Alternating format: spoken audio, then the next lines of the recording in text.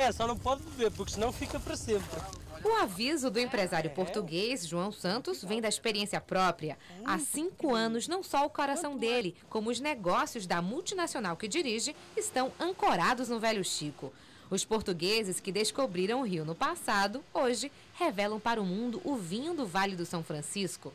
A maior exportação de vinhos do Brasil sai exatamente daqui, com vinhos tintos de altíssima qualidade, espumantes, vinhos brancos e rosés. A água boa e farta, um sistema de irrigação por meio de gotejamento e o clima quente fazem da região a única do planeta a produzir duas safras por ano. São 25 colheitas. Aqui, todo mês, tem uva madura pronta para ser transformada em vinho.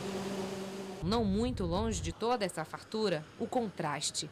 O verde dá lugar à paisagem cinza de uma pobreza que sobrevive em casas de taipa. O bode, animal resistente à seca, invade a estrada e as ruas do lugarejo, como se anunciasse a triste realidade. A poucos metros de um dos maiores rios do mundo, não existe água encanada, não há irrigação.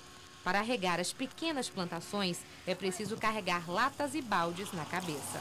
Um dia outro não tem que aguar os coqueiros, as bananeiras assim, no, com o baldo na cabeça, carregando água do rio. E quanto mais longe do rio, mais esquecidos. A água nesta outra comunidade chega em caminhões ou quando acontece o milagre da chuva. Oh, que beleza! Hoje tudo cheio, só alegria.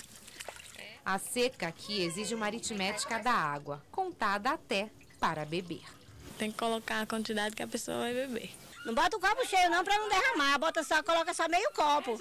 Para o banho então são três canecas. Sorte do menino.